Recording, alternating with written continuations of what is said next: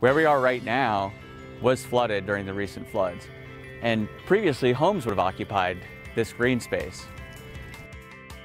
Now, it's so important to make those investments over time, as Beatrice did. Since 1973, when the large flood happened here, the community banded together and decided we need to make these investments. We need to buy out properties that are at risk so that both those homeowners are not vulnerable to future floods, as well as not making the American taxpayer, the city taxpayer, the state taxpayer vulnerable to these uh, payments over time that quite frankly are just unnecessary.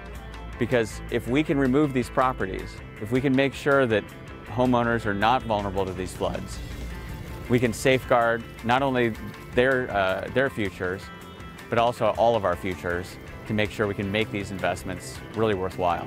I think we're already seeing success. We're seeing homes that are no longer here, no longer vulnerable, which means that disaster survivors are not vulnerable.